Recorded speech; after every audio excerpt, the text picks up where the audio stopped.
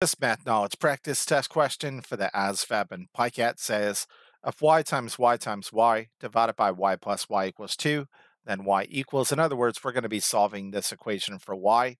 And since you're not permitted to use a calculator or reference sheet on the actual ASVAB or PICAT, you want to get in the habit of copying things down correctly on your own scratch paper.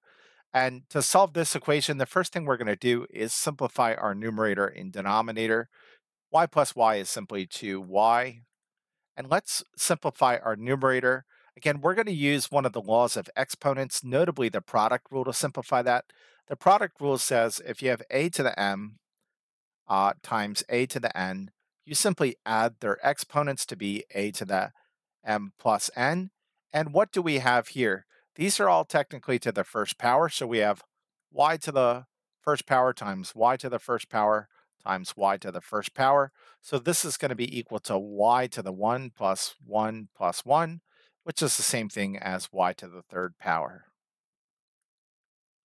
All right, so the next thing we want to do is clear 2 from the denominator by multiplying both sides of this equation by 2. In doing so, this crosses out, uh, and this becomes y to the third over y equals uh, 2 times 2, which is 4. Now we're going to use uh, the quotient rule to simplify this even further. Again, there's technically an exponent of 1 here, and the quotient rule says this. If you have a to the m over a to the n, that's the same thing as subtracting their exponents, so this would be m minus n.